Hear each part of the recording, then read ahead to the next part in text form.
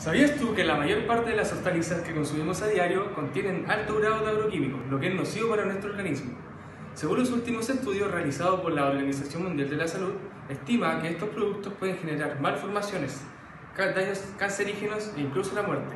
Es por eso que junto a mi equipo, conformado por cuatro técnicos agrícolas, hemos creado Inverlife, una empresa destinada a plántulas 100% orgánicas las cuales no contienen ningún tipo de agroquímico.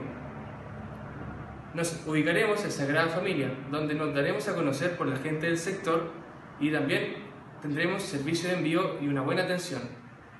Nuestro segmento de mercado abarca desde los pequeños productores a grandes empresas que cada vez se están viendo más involucrados en el tema orgánico.